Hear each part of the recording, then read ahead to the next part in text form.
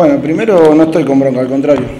Estoy orgulloso de, cómo juega mi equipo y, de haber jugado contra un equipo que está compitiendo a nivel internacional. Eh, hoy me termino de dar cuenta de un montón de cosas, eh, que obviamente uno quizás no la quería ver, pero hoy me doy cuenta que Fuerza Amarilla no juega solo contra los rivales. Eh, hay un montón de factores, yo no voy a entrar en detalle con temas de arbitraje y demás, pero yo tengo la, posibilidad de que mis asistentes toman unas estadísticas por partido, contabilizan, eh, obviamente no tenemos chaleco GPS porque no hay presupuesto, trabajamos con carencia respecto a, equipos como Católica que viajan en avión, que no se toman un bus de más de tres horas, que viajan a hoteles cinco estrellas, que tienen dos o tres planteles para rotar.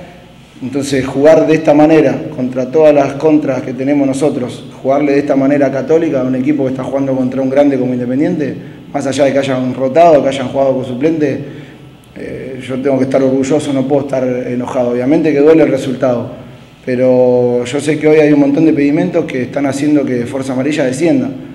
Pero si voy a descender, desciendo de esta manera con la frente en alto y orgulloso de los jugadores míos, porque hoy tuvimos 12 ocasiones de gol contra 3 y ocasiones de gol jugando la pelota al piso con pases sincronizados. Después a veces entra o no. No le voy a quitar mérito a, Católica y felicitar al profe recién por el triunfo.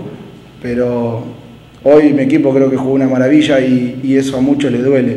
Eh, disculpame que, continúe hablando, pero eh, muchas veces veo los resúmenes que hacen de los partidos eh, y yo, como te digo, contabilizo todas las ocasiones de gol, las faltas. Eh, el jugador Armas, el 8, cometió más de 7 faltas, 4 seguidas y no fue molestado en todo el partido.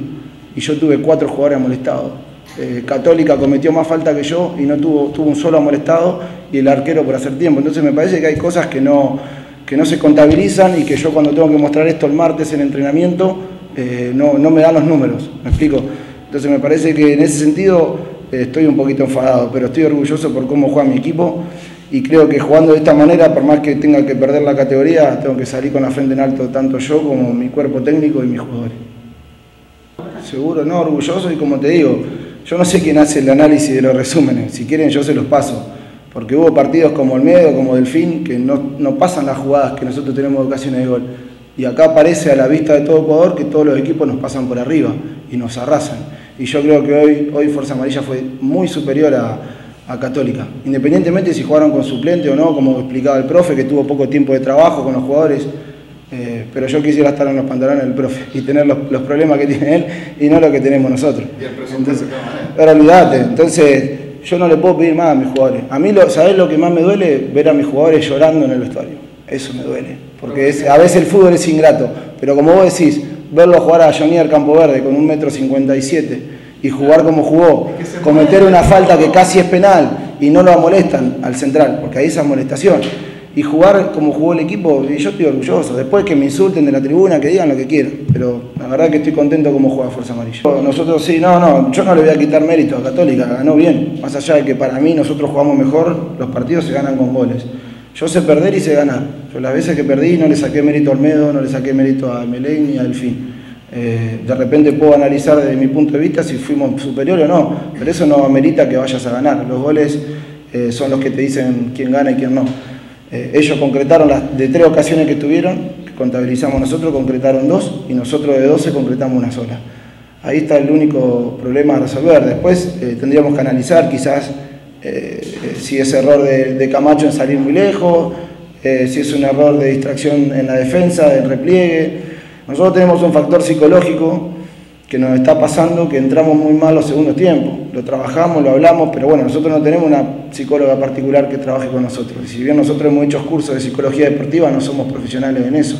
hay un montón de cosas que no podemos corregir o que no podemos mejorar en ese, en ese aspecto. Y, bueno, eh, como yo te digo, es muy difícil trabajar en la situación que están trabajando nuestros jugadores y no tener estos errores. Es muy difícil no tenerlos porque son muchas cosas que pasan por la cabeza y te estás jugando contra rivales de, mucha jerarquía. Con trabajo. Eh, a mí lo que me dan ganas de seguir es la pasión que tengo por este deporte. Eh, yo, viendo una vez una entrevista de, a Guardiola, él explicaba eh, cómo se había vuelto el fútbol, que se había vuelto un negocio y ya no un trabajo y una pasión. Y bueno, hoy, hoy estoy viendo que eso se, se está volviendo realidad, lamentablemente, para el que ama el fútbol Yo juego al fútbol desde los, jugué al fútbol desde los cuatro años y siempre viví del fútbol, no hice otro trabajo. Y soy muy apasionado de esto. Eh, lo que es el salario pasa a un segundo plano. Entonces, esto es lo que a mí me, da la fuerza a seguir, mi familia, mis, profes que trabajan conmigo, eh, la pasión por este deporte y las ganas que le ponen los jugadores a pesar de todos los problemas que hay, eh, la voluntad, la honestidad que tienen y el sacrificio para seguir trabajando. Así que mientras ellos sigan así, nosotros vamos a seguir.